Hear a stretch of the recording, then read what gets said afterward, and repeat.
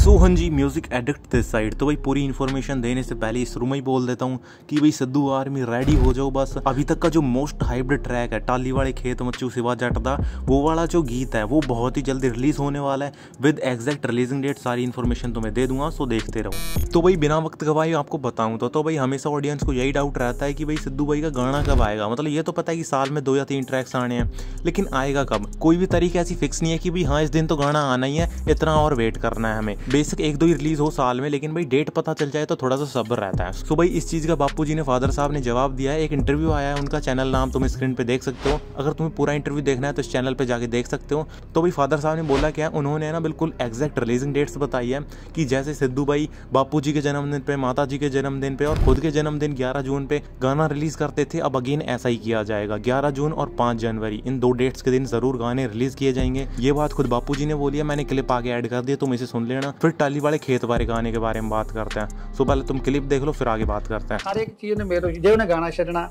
ਤਾਂ 5 ਜਨਵਰੀ ਦਾ ਮੇਰਾ ਜਨਮ ਦਿਨ ਹੈ ਪਰ ਇੱਕ ਮੇਰੇ ਜਨਮ ਦਿਨ ਤੇ ਇੱਕ ਆਪਦੀ ਮਾਂ ਦੇ ਜਨਮ ਦਿਨ ਤੇ 15 ਮਈ ਨੂੰ ਪਹਿਲਾਂ ਹੀ ਪਹਿਲਾਂ ਹੀ ਪਲੈਨਿੰਗ ਸਾਡੇ ਕਰ ਤਿੰਨ ਗਾਣੇ ਛੱਡਣ ਵਾਲੇ ਤਿੰਨ ਹੀ ਦਿਨ ਹੈ ਜਾਂ ਉਹਦੀ ਮਾਂ ਦਾ ਜਨਮ ਦਿਨ ਜਾਂ ਸ਼ੁਭਦੀਪ ਦਾ ਆਪਣਾ ਜਨਮ ਦਿਨ ਜਾਂ ਮੇਰਾ ਜਨਮ ਅੱਛਾ ਇਹਨਾਂ ਇਹ ਡੇਟਾਂ ਤਾਂ ਸਾਡੀਆਂ ਪੱਕੀ ਬੁੱਕ ਹੁੰਦੀਆਂ ਸੀ ਵੀ ਉਦੋਂ ਕੋਈ ਗਾਣਾ ਪਹਿਲਾਂ ਹੀ ਤਿਆਰ ਹੁੰਦਾ ਸੀ ਪਹਿਲੀ ਰਾਹ ਹੁਣ ਵੀ ਸਾਡੇ ਇਹ ਸ਼ਡਿਊਲ ਹੈ ਵੀ ਅਸੀਂ ਪ੍ਰਮਾਤਮਾ ਮਿਹਰ ਕਰੇ ਤਾਂ 5 ਜਨਵਰੀ ਤੇ 11 ਜੂਨ ਸ਼ੁਭਦੀਪ ਦਾ ਜਨਮ ਦਿਨ, ਦੋਨੇ ਪਿਓ ਪੁੱਤ, ਉਹਨਾਂ ਦੇ ਨਾਲ ਤਾਂ ਸਾਲ ਦਾ ਹਾਫ ਆ ਜਾ ਕਰੂਗਾ, ਨਾਲੇ ਏਦਾਂ ਹੀ ਪੱਕੇ ਦੋ, ਸਾਲ ਦੇ ਦੋ ਗਾਣੇ ਪੱਕੇ ਛੱਡੇ सो भाई, अब तुमने रिलीजिंग डेट के बारे में भी देख लिया खुद फादर साहब के मुँह से कि 5 जनवरी और 11 जून को एक ना एक ट्रैक रिलीज़ किया जाएगा हर साल। सो चलो, वो तो बात होगी। अब गाने के बारे में बात करते हैं टाली वाले खेत, इस गाने के बारे में। तो भाई, जैसा कि मैंने वीडियो की स्टार्टिंग में भी कहा था, ये मोस्ट हाइब्रिड ट्रैक है। वो किस लिए पर्सनली भाई, मुझे ऐलान और इस ट्रैक की बहुत ज़्यादा वेट है। वो क्यों? क्योंकि भाई, इनके लिरिक्स की वजह से। क्योंकि हुकलाइन ये है कि टाली वाले खेत से वहाँ जटदा ही मचूगा और भाई, बिल्कुल सेम ही चीज़ हुई है। फादर साहब ने भी इस इंटरव्यू में बताया कि भाई, ये जो गीत है, ये बिल्कुल टाली वाला जो खेत था, उसके सामने अपनी जीप में बैठ के लिखा था।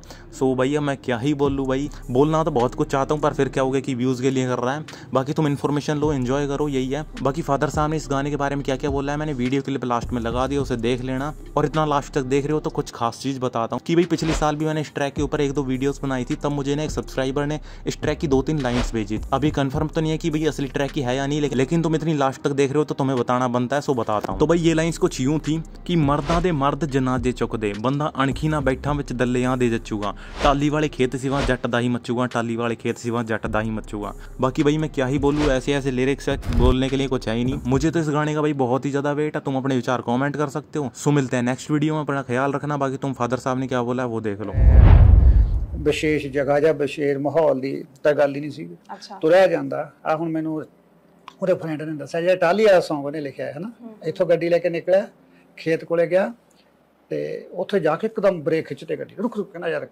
ਲਿਖਣਾ ਸੀ ਕੁਝ ਉਹਦੀ ਫੋਨ ਕੱਢਿਆ ਫੋਨ ਹੀ ਉਹਦੀ ਨੋਟਬੁੱਕ ਸੀ, ਉਹਦੇ ਕੋਲ ਸਾਰਾ ਫੋਨ ਦੇ ਵਿੱਚ ਹੀ ਲਿਖਦਾ ਸੀ ਸਾਰਾ। ਉਹ।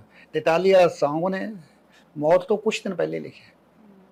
ਔਰ ਉਸੇ ਟਾਲੀ ਦੇ ਸਾਹਮਣੇ ਸੜਕ ਦੇ ਬਰਾਬਰ ਖੇਤ ਤੇ ਗੱਡੀ ਖੜੀ ਕਰਕੇ ਲਿਖਿਆ। ਉਹ ਇੱਕਦਮ ਐਮਰਜੈਂਸੀ ਬ੍ਰੇਕ ਮਾਰਿਆ, ਐ ਰੋਕੇ ਨੇ ਵੀ ਕੋਈ ਗੱਲ ਜ਼ਿਆਦਾ ਆਈ ਹੈ ਤੇ ਟਾਲੀ ਤੇ ਟਾਲੀ ਦੇ ਉੱਤੇ ਉਹਨੇ ਗਾਣਾ ਲਿਆ, ਪਰ ਉਹ ਲਿਖਿਆ। ਪਰ ਉਹਦਾ ਕੋਈ ਟਾਈਮ ਵਿਸ਼ੇਸ਼ ਜਗ੍ਹਾ ਕੁਝ ਨਹੀਂ ਸੀ। ਜਦੋਂ ਕੋਈ ਉਹਦੇ ਫੁਰਨਾ ਦਿਮਾਗ ਦੇ ਵਿੱਚ ਆਵੇ ਉਹਨੂੰ ਉਸੇ ਟਾਈਮ ਹੀ ਲਿਖ ਲੈਣਾ। ਫਿਰ ਅਕਸਰ ਸੁਣਾਉਂਦਾ ਸੀ ਉਹ ਗਾਣੇ ਸਾਨੂੰ ਲਗਭਗ ਸਾਰੇ। ਤੇ ਉਹ ਮੇਰੀ ਆਤ ਉਹਦੀ ਟਿੱਪਣੀ ਕਰ ਮੈਂ ਉਹਦਾ ਆਲੋਚਕ ਵੀ ਸੀ ਸਭ ਤੋਂ ਵੱਡਾ ਕਿਉਂਕਿ ਜਿੰਨੀ ਟੋਕਾ ਟਾਕੀ ਮੈਂ ਉਹਦੀ ਕਰਦਾ ਸੀਗਾ। ਤੇ ਆ ਨਾ ਛੱਡਣੀ ਸ਼ਾਇਦ ਕੁਝ